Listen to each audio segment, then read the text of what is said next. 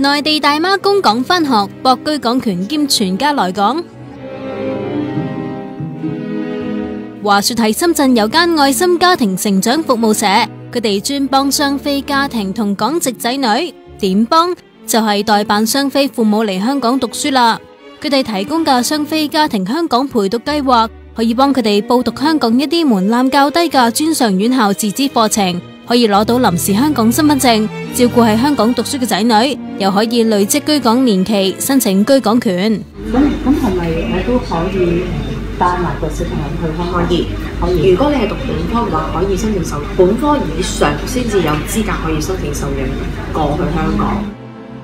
即系大人获准嚟读书，就可以申请埋配偶同埋其他十八岁以下嘅仔女嚟香港，实现全家移民香港嘅愿望啊！系好好好多时间，你唔好认为我哋做紧一啲诶走歪路嘅嘢，我哋系真正真系帮家长申请过去读书嘅。但话香港嘅大专课程轻易毕业，只要有八成出席率就不到业啦，仲建議先读两年副学士，再读四年学士学位课程。之后留港一年揾工，加加埋埋就居港七年，攞到永久居留权噶啦。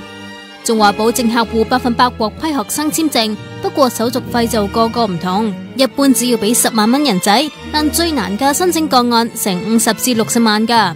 大妈杀到嚟，香港呢边又点啦？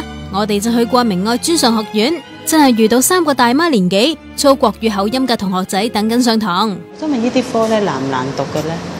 怎么说呢？蛮有意思，蛮好玩的。呃，贵不贵的呃学费，好像还好吧。多多少钱呢？你是什么证件？他那个学费具体要问学校的，因为不同身份，他可能是不一样的吧。价格不一样。但问到身份呢，佢哋就唔想讲啦。咁你觉得你哋本身有冇嘅？即系诶，即系冇香港身份证嘅问题。你你要问学校，不知道学校学学生身份证。同学仔话，内地大妈主攻用中文教嘅科，包括通识教育同语文学系，三十几人一班就有七八个大妈。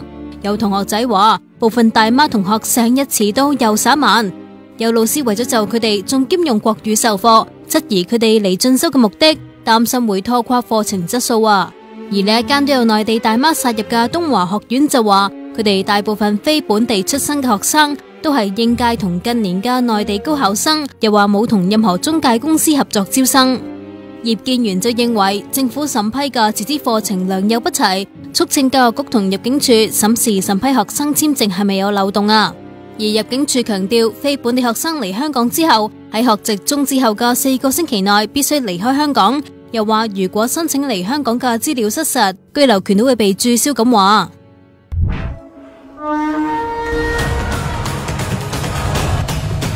首间 Asics 專門店已經登陆銅鑼灣禮頓中心啦！